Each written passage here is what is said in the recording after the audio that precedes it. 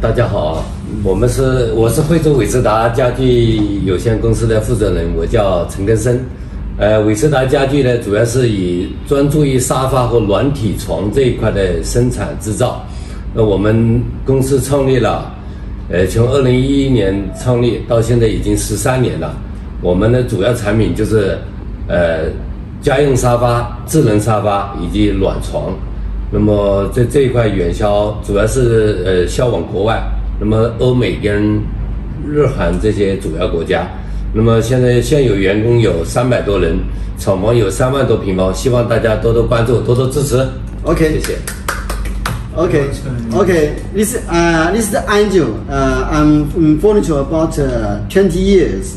Uh, for different kinds of furniture, sofa, bed. And the and the um, chair also. Uh, uh, we, uh, I, I have the experience export to many countries, all, nearly all over the world.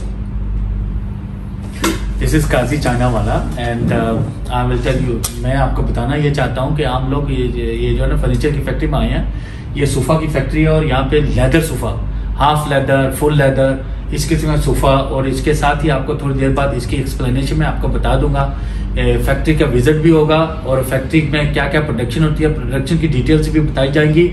और इसके अलावा आपको कोई भी किसी किस्म का कोई क्वेश्चन हो तो आप नीचे नंबर होगा, उसमें बता सकते हैं। आप फैक्ट्री वालों से रब्ता करना चाहते हैं फैक्ट्री का नंबर भी आपको दिया जाएगा।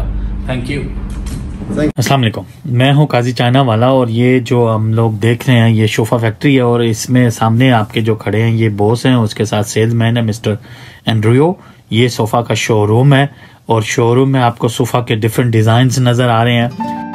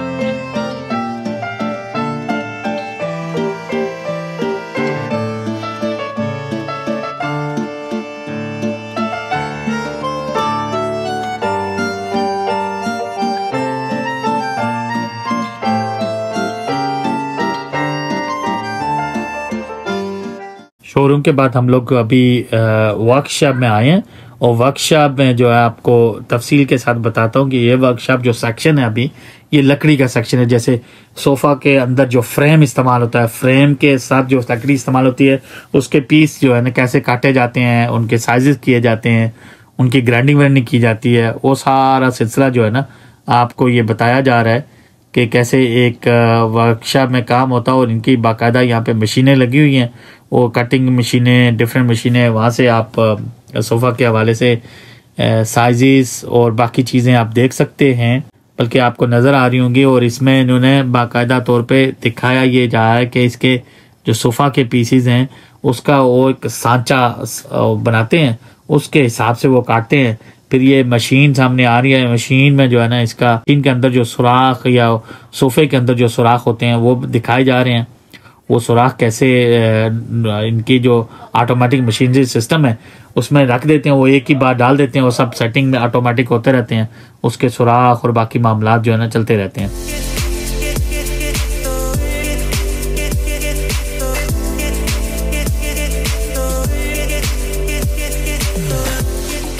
वर्कशॉप में जो है ना अभी मशीन की कटिंग आप देख रहे हैं, आपको नज़र आ रही है मशीन में कैसे पूरा जो पीस डाला जाता है, वो पीस को सुराख किए जाते हैं। जहाँ जहाँ उसकी वो ऑटोमेटिक उसमें बाद में कटिंग शटिंग की जाती है। और ये जनाब आपको कटिंग के हवाले से बताया जा रहा है कि कैसे कैसे कटिंग और फ्रेम जो है ना उसके फ्रेम ऑटोमेटिक सिस्टम में एक ही बार डाल देते हैं और उसमें कटिंग होती रहती है।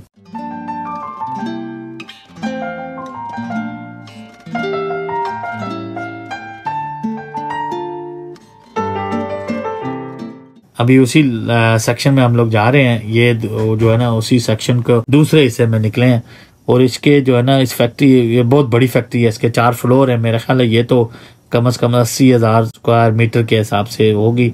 क्योंकि इसके दो तीन सेक्शन हैं और उसके बाद इसके पास एम्प्लॉय भी जो है ना, आपको इन्होंने बताया, मैं तीन सौ लोग काम करते हैं, दो सौ से तीन सौ के दरमियान काम करते हैं और बहुत अच्छा बहुत अच्छा इनका काम है। ये जो है ना, इनकी अभी तक आप लकड़ी की जो सेक्शन है, उसको देख रहे हैं। इसमें लकड़ी के मुख्तलिफ़ पीसेस को बार बार आपको दिखाया जा रहा है इसकी कटिंग और बाकी चीज़ें जो है ना, आपको नज़र आ रही होंगी।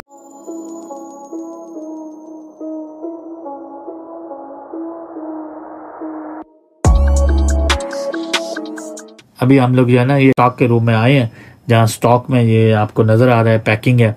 वो पैकिंग के लिए ये जो है ना इंटरनेशनल कहीं शिप के लिए, बाकायदा पैकिंग किया जाए यहाँ ही इंस्पेक्शन भी यहाँ पे होती है। सबसे पहले यहाँ पे इंस्पेक्शन होती है, वो खोलते हैं चेक करते हैं एक एक पीस उसके बाद उसको पैकिंग करते हैं। और इसमें सुपरवाइजर की निगरानी में किया जाता है सारा काम। और सुपरवाइजर जो है ना उस चीज़ को फॉलो करता है और एक एक चीज़ पे बाकायदा कार्ड लगाता है, जो भी सिस्टम है इसका जो है ना करना पड़ता है ये। ये सारा सेक्शन जो है ना एक्सपोर्ट के लिए जिसको आप स्टोर रूम कह सकते हैं, या इसका वेयर हाउस कह सकते हैं। वेयर हाउस में जो है ना, माल जब आता है तो इसको पहले खोलते हैं। खोल के इस माल को चेक करते हैं। चेक करके फिर इसकी प्रॉपर पैकिंग की जाती है। पैकिंग जो है ना पैकिंग करके फिर इनको बाकायदा टैग लगाया जाता है, जहाँ पे जहाँ पे शिप करना होता है। फिर उसके बाद शिपिंग मार्क वगैरह होते हैं और इनकी कुछ की बक्स पैकिंग होती है, बोरी टाइप का कपड़ा होता है, वो पूरा लगाते हैं। उसके ऊपर जो है ना प्लास्टिक का कवर कर देते हैं।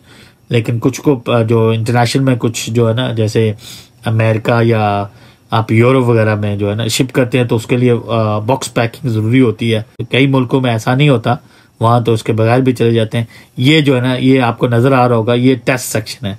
यहाँ पे सोफा को टेस्टिंग किया जाता है। और इसी सोफा में, ये देखें, अभी आपको सोफा नज़र आ रहा होगा, इसमें किस तरह सेक्शन है। सोफा को छोटा भी कर सकते हैं, बड़ा भी कर सकते हैं सेटिंग में जो है ना, वो दिखाया जा रहा है। ये मिस्टर एंड्रियो हमें बार बार दिखा रहे ये जो है ना सोफा के वर्किंग क्या है सोफा कैसे काम करता है। ये जो है ना, सोफा कम बेड नज़र आ रहा है। सोफा कम बेड, जिसको जो है ना आप दिन को सोफा बना लो, थोड़ा आगे करके, उसके बाद रात को आप इसको जो है ना बेड बना के सो भी सकते हैं। ये जो आपको शोरूम में अभी नज़र आ रहा है, और ये सारे सैंपल्स के तौर पे जो टेस्ट किए जाते हैं ना, वो सैंपल्स टेस्टर सैंपल होते हैं, यहाँ रखे जाते हैं, वो दिखाए जा रहे हैं आपको। इस वक्त जो है ना, ये मिस्टर एंट्रियो जो है ना एक एक चीज़ आपको दिखा रहा है कि कैसे सोफ़ा और उसके मामला होते हैं।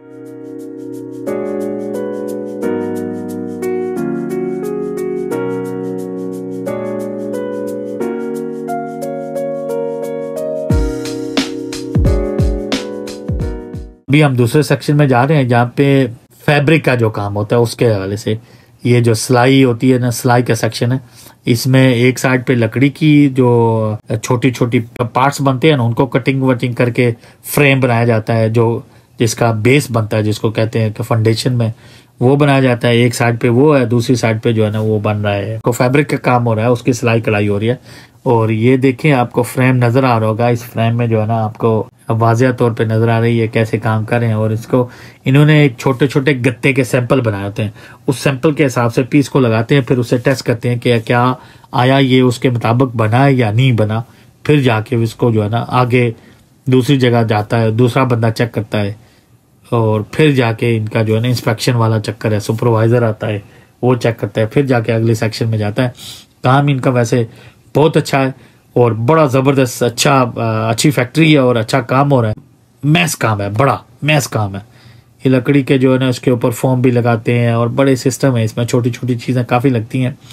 बहरहाल, ये फैक्ट्री जो है ना, मैं आपको बता दूँ, बहुत ज़बरदस्त मैस किस्म का काम होता है। सबसे बड़ी जो बात है, आपको नज़र आ रहा होगा, इनकी फैक्ट्री जो है ना, बड़ी क्लीन है साफ़ सुथरी है और ये कमा, काम जो है ना, सफ़ाई की हद तक करते हैं।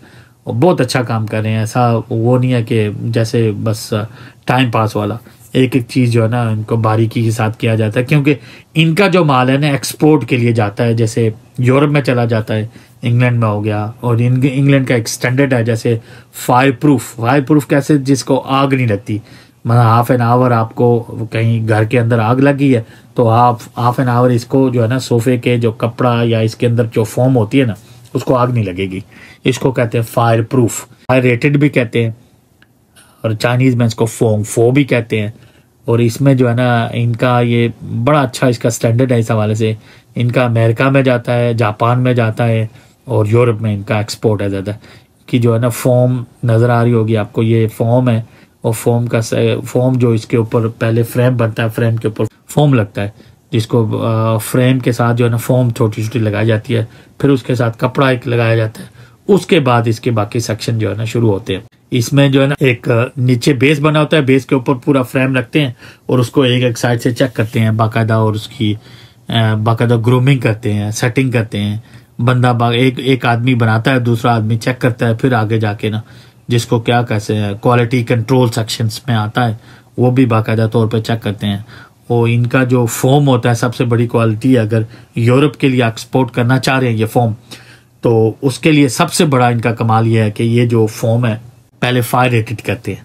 फायर रेटेड फायर प्रूफ जिसको करते हैं।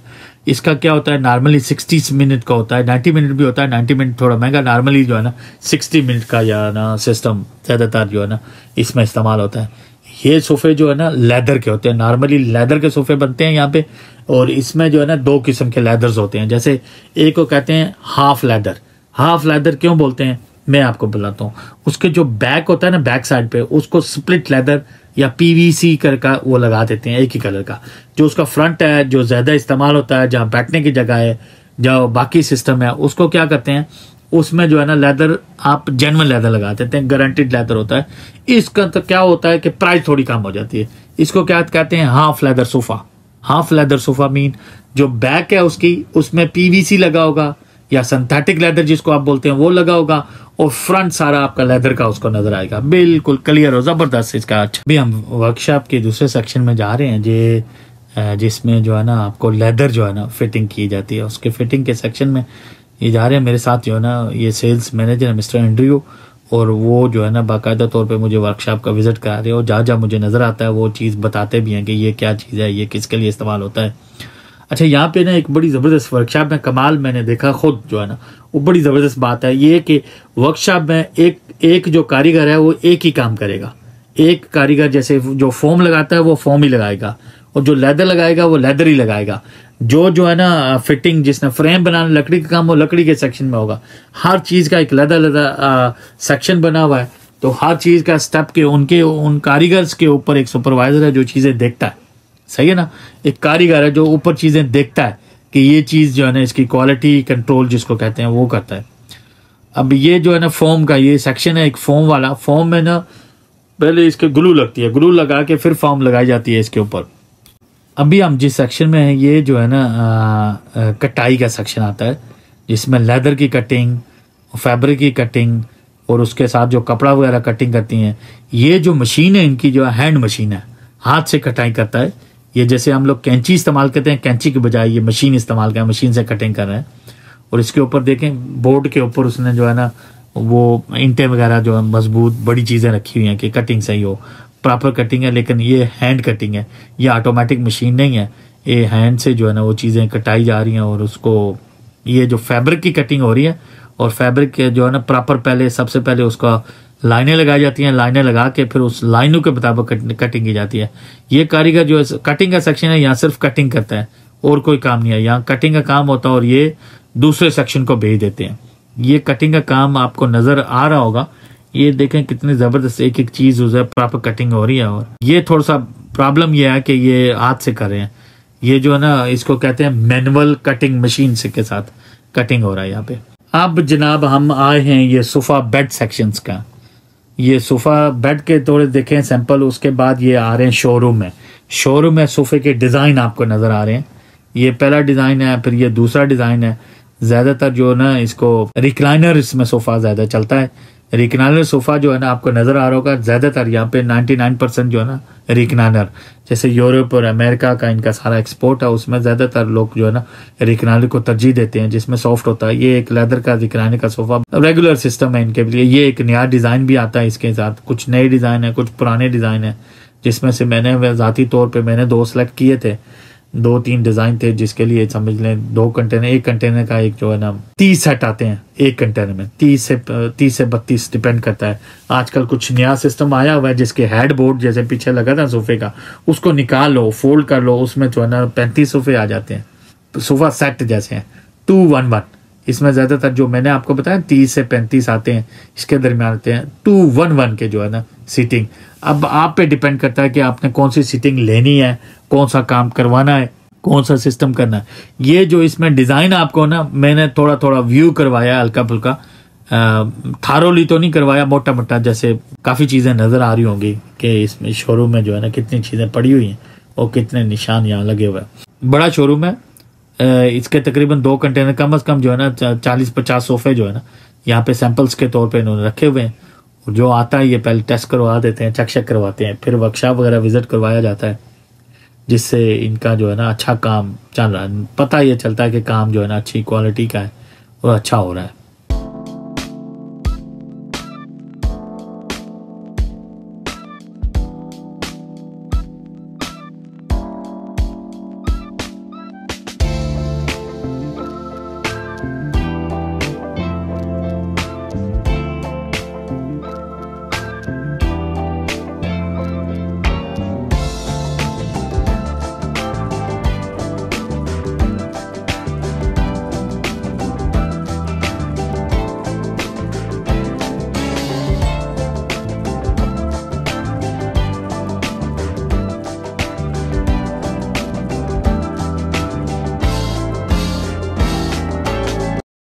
वालेकुम काजी चाइना वाला। ये जो चैनल है, आपके लिए लाया जा रहा है। और इसमें आप इसको सब्सक्राइब करें और बेल आइकॉन दबाएँ, जिसमें आपको फ्यूचर की वीडियो मिलती रहेंगे। इसमें ज़्यादातर आपको चाइना हांगकांग और साउथ ईस्ट एशिया के लिए मालूम मिलती रहेंगी। इसमें आपको अगर किसी किस्म की इन्फॉर्मेशन चाहिए चाइना के हवाले से फैक्ट्री के हवाले से, या खाने पीने के हवाले से, या रहने सहने के हवाले से तो आप मुझे मैसेज करेंगे। मैं आपको उसका बाकायदा तौर पर जवाब दूँगा। Thank you